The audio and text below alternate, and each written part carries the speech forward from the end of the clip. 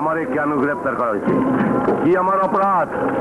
আমি যদি অপরাধী হইয়া থাকি, তাইলে কোর্টে চালান করো। ব্যাস, ইন্সপেক্টর রাগ হয়ে গেল। ও লকআপের ভিতরে আমারে কুত্তার মতো মারতে মারতে, মাটিতে ফালাইয়া দিয়া হ্যাঁ জুতা দিয়া খাইতে লাগল। আমি জানতে চাই, এইটাই কি দেশের আইন? এইটাই কি বিচার?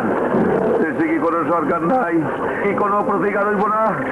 আপনারা বড় বড় করে লিখবেন, বলো রাজু, কি জন্য তুমি কালামিয়াকে গ্রেফতার করেছিলে? এই মুহূর্তে আমি তা বলতে পারব না, স্যার। এর আগেও তুমি কালা সাহেবের ভাই ভালা মিয়াকে বিনা অপরাধে গুলি করে হত্যা করেছ। আজ আবার তুমি কালা সাহেবকে ধরে এনে জানে মারতে চেয়েছিলে।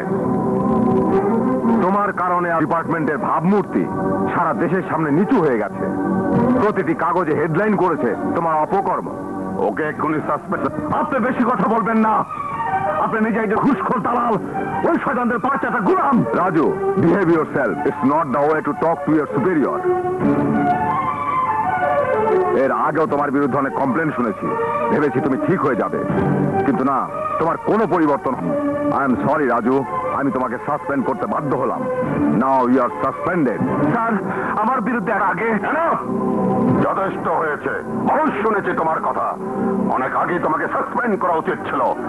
Now you get out from here you bloody bastard corrupt get him out okay বের করে দাও। বাস্টার্ড আমি তোকে ছাড়বো না। আমি তোকে দেখে নেব। আমি আমি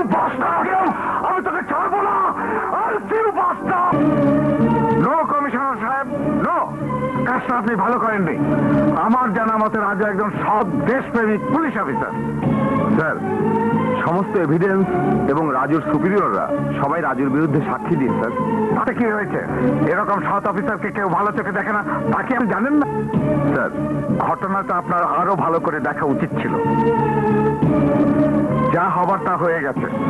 আপনি তৈরি হয়ে ইয়েস স্যার আমি নিজেই যাব। আমি দেখতে চাই। এই সব ঘটনার আসল কিনাল কারা?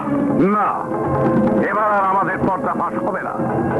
ভাগ্য ঘুরে গতবার মন্ত্রী বেঁচে গেছেন কিন্তু এবার আর তাকে বাঁচতে দেওয়া যাবে না। এইবার আমি মন্ত্রী রে নিজে সরকামু তবে তার আগে ওই ইন্সপেক্টরের বন্দি করতে হইব। কেন? আমি মিনিস্টার সাহেব তো আসছেনি। দেখো উনি এসে সব ঠিক করে দেবেন। উঠো।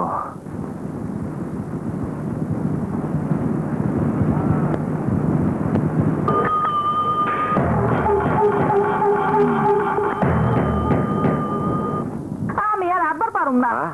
কত কইলাম? একটা রিক্সা লও এইটা কানে শুনলো না? বুঝবি না রে বউ বুঝবি না।